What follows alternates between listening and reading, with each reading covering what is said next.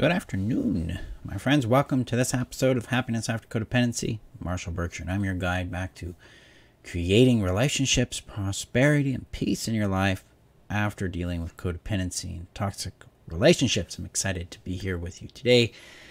Excuse the mess behind me. I'm in the process of packing and moving, so chaos abounds. All right. Today we're going to be talking about the fear of other people's perspectives of us. You know, are we scared of what they think about you? That kind of thing. Because this is a very common fear, a very under, actually understandable, logical fear to have, especially if we've grown up in systems where love, connection, attachment, our value was based on what we did and how we made other people feel. So we're going to explore that here today. Before we get to, to that, I need to share this out to the community here real quick. So, if you're looking for a community where you can find further guidance and tools from me, more support in your journey beyond codependency, and a safe haven where you can share what's going on in your world, come join us in the community. The link is above on Facebook, below on YouTube. If you're watching on YouTube, hit that subscribe button. And also, in the description, check out the rules for the community make sure the community is aligned with what matters to you and what you need in a support community. And also check out the announcements because the Happiness After Codependency system is open for enrollment. So come join us. I'm going to get this shared out here real quick. Just got to click the buttons. And that's the right group. And we are good to go. So it's nice to see you guys. Let me know how you're doing in the comments below. Let me know your thoughts on today's video.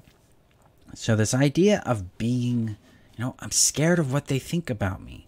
I'm scared of their opinion, their point of view, that kind of thing. This can have a lot of power in our world. Let me know in the comments below if this is something that is very much present or has been present in your life where someone's perspective grips you emotionally like your body seizes around it and you're like ah no they don't like me that means something or that's it's a scary idea that people would reject you or disagree with you or be disappointed with you or not like what you do, what you say, what you think, how you show up. Because if that's you, you're not alone. This is actually a really prevalent kind of fear a lot of us carry with us, and this comes from how we were treated by people whom we had an emotional bond to. So we all have three primary necessities in our life that we are attempting to nurture, to keep, to care for in our world. And the first one is a sense of safety. We want safety physically, emotionally, and in our relationships.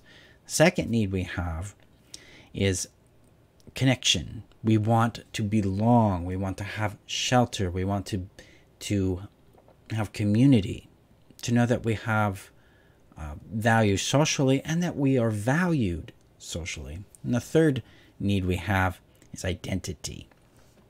Identity is also synonymous with value or worth. And the reason why is because identity is an outgrowth of that value. When I have a sense of value or a particular sense of value, that shapes the way I see myself. And that shapes the way I show up in the world. So if I have a shame based value, sense of value, I'm going to show up in ways that reflect that in some way. But if I have a love base or warmth towards myself and my value, then I'm going to show up differently. These three needs are highly influenced initially in our world, especially as children, by the way people we are bonded to react to us. So if I was bonded, like for instance, I was highly bonded to my mother.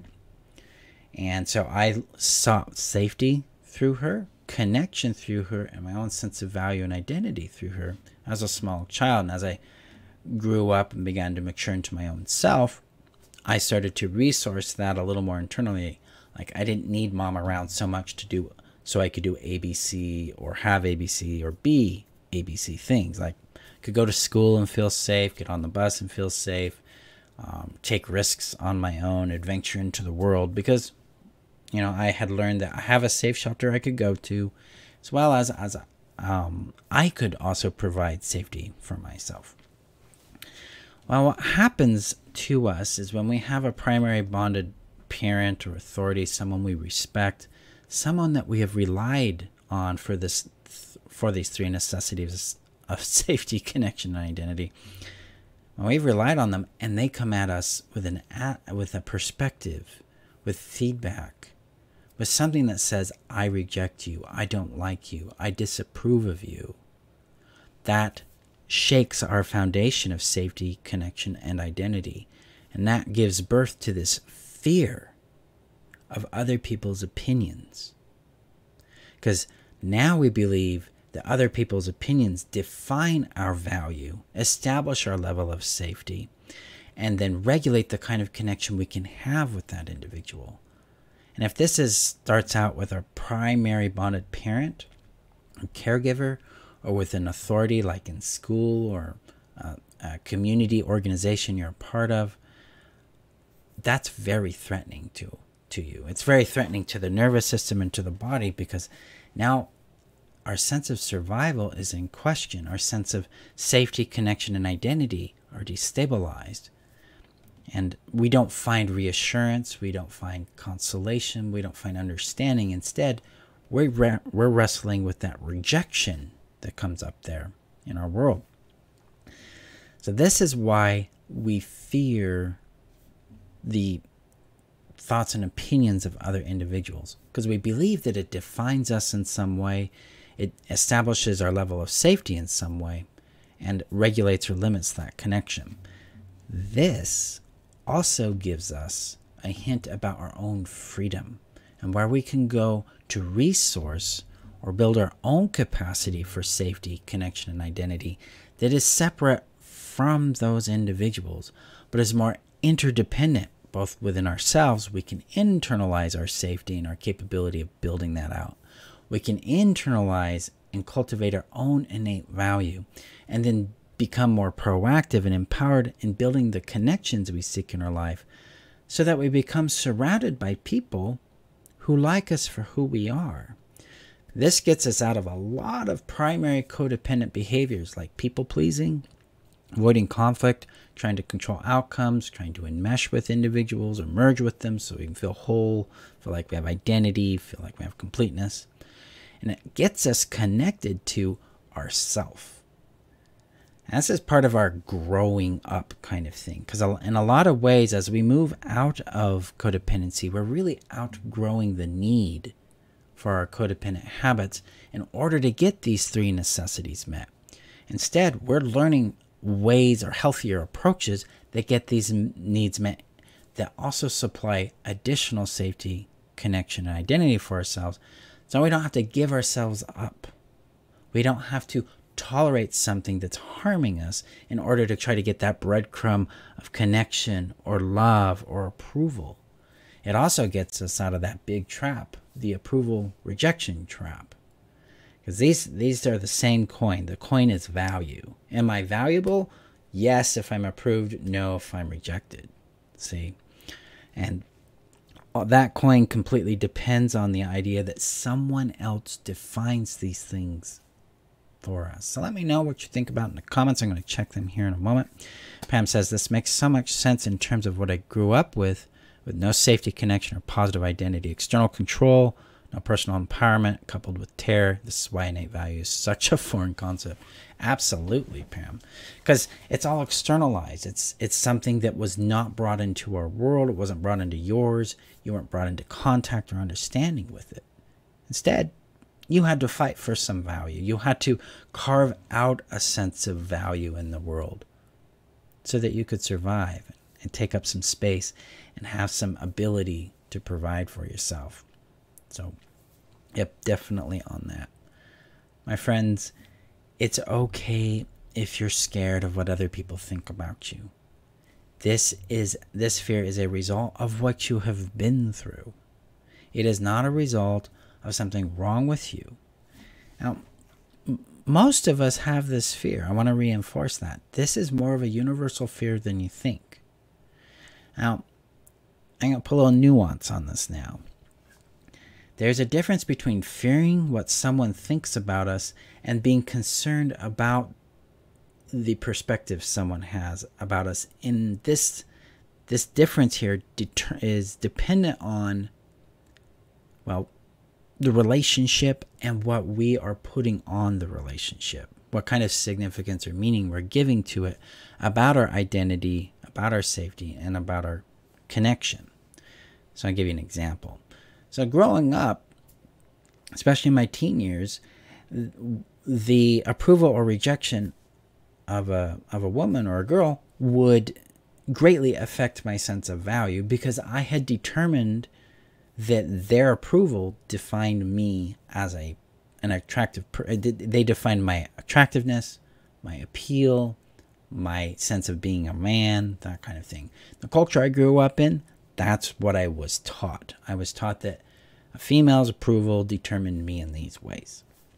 As I've grown into more adulthood, now I'm in my 40s, it's not so much that. I'm not interested in whether or not I'm defined that way.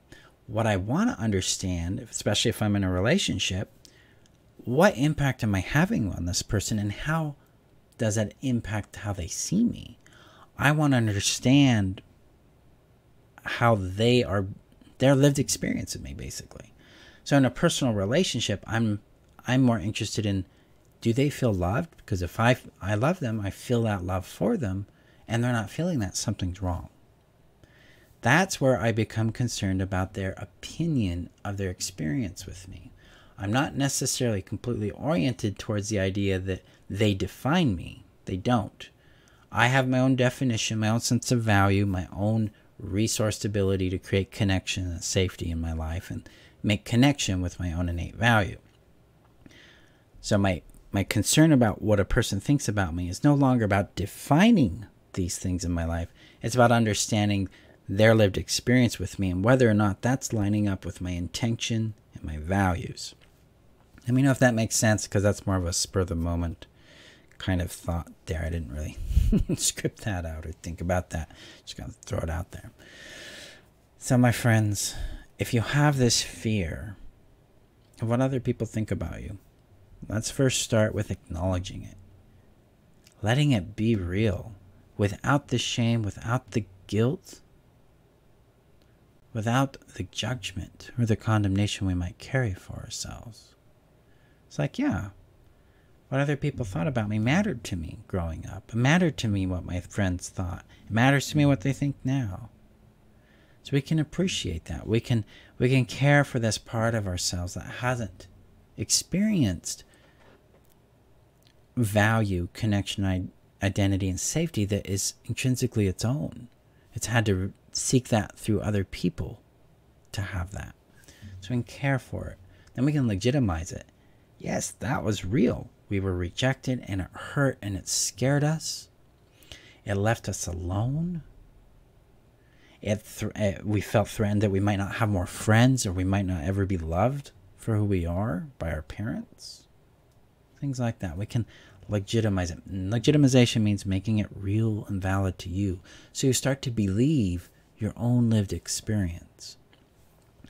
And now when we're practicing this slowly, gently, bit by bit at a time, there's going to be a shift that enters your awareness eventually. It may take some time, it may happen immediately.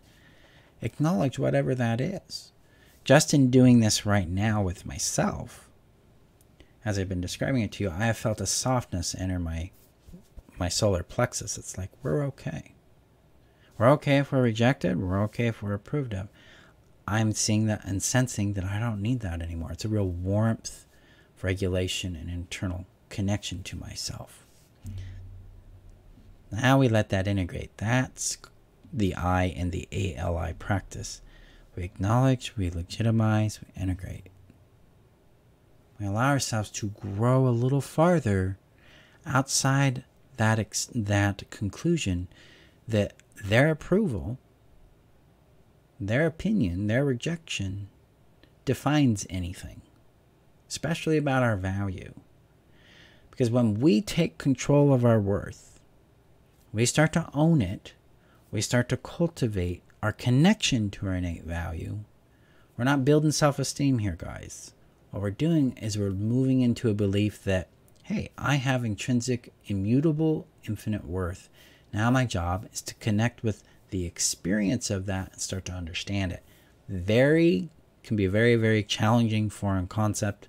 That's okay if it is, because it still gets me sometimes. Innate value is not changeable. It's present. It's part of us. It's innate. It's born into us. When we were created, we had it. Nothing can change that. And our work is to connect with that and understand and come to know it, love it, and follow it. So when we take back control of our value and we start to connect with that, it raises safety and it clarifies connection because now we're maturing into a deeper sense of ourself. We no longer are seeking their opinion to validate and justify ourselves. Instead, we're seeking to understand their opinion to see how we're relating with them and how they're relating with us so we can determine if they're a good fit for further connection because they're safe. Does that make sense? Let me know in the comments below. Hi, Shani. Hi, Pamela. This is what we're doing here. This is a big shift from going, I fear what people think about me, to I'm curious what that is so I can understand my, their lived experience of me and whether or not they, how they align with what I value, what I desire, my own relationships. Which throws in another nuance.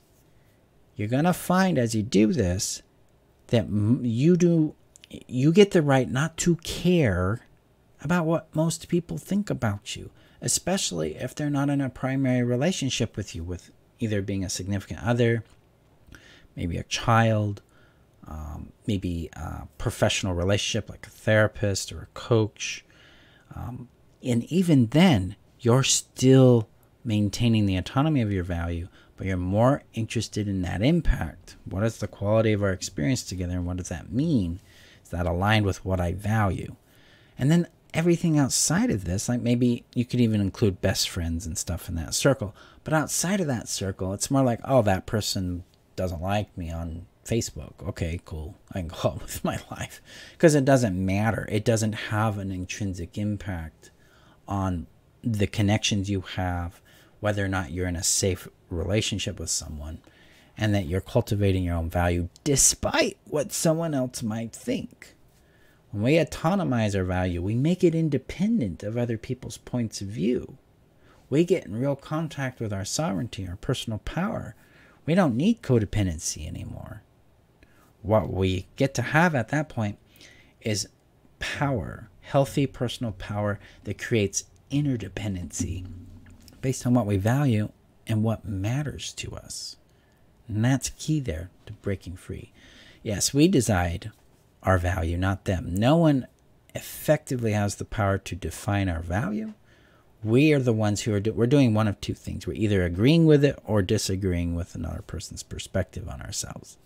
That's where our power action is. And if we want to get into what's called congruence with ourselves, alignment with ourselves, harmony with ourselves, then if someone's like, mm, Marshall, you're a bad blah, blah, blah, and I'm like, well, no, I disagree. Now I'm in congruence with my, my own value because I know my value. My value is sovereign to me. And my value guides and inspires my actions and my choices. So I know how I'm attempting to show up. And if someone wants to label me as the bad person, then cool. That doesn't mean it's a fact. Um, and we can go in a little more nuanced gray space there rather than that black component. We can go into Someone just doesn't like what I do or how I do it. Cool. That isn't a judgment of right and wrong. That is a judgment of compatibility. It's like, okay, cool. Now you know what works for you or what doesn't. May you find what works for you. There is no internalization of, oh, something's wrong with me. I got to change this. It's more like, yeah, difference. And that's okay. They're not wrong. I'm not wrong. We just have clarity. So now that fear of what other people think about us, or, or well, in my own particular case, the thing about me is smaller and smaller and smaller. Because I know I can care for my value, my connections, and my safety, and I'm not wholly dependent on other people for connection and safety. I can resource that myself. And that my value is my job, not theirs. So, there you go, guys. Thank you for being here. Today's training video. Let me know your thoughts below and how this added to your world. If you want to go deeper in this kind of work and becoming free of that fear of other people's opinions and actually knowing your value, following it, and becoming who you are from it. That's what the happiness after codependency system is built on. It's built to bring you back to you so you can create relationships that matter to you, prosperity that you love and enjoy, and the peace that you deserve. So, enrollment is open for that. We start August 15th, so we got some time. The link is below on YouTube, above on Facebook, and get more information there about how to enroll. So go gently with yourselves, my friends. Take time to retrieve your value from other people's opinions. Give yourself a chance to disagree with their opinions and see what that feels like for you. And if you're having big activation around people and their opinions, that indicates, especially if it's paralyzing and it's really arresting, that indicates that there's trauma talking in the background. And I recommend talking with your trauma therapist about that, as well as beginning to cultivate regulation in your nervous system for that. And you can find tools for that on my website, link above on Facebook, below on YouTube to help you there. So go gently. I will see you guys in our next training video. Have a great day.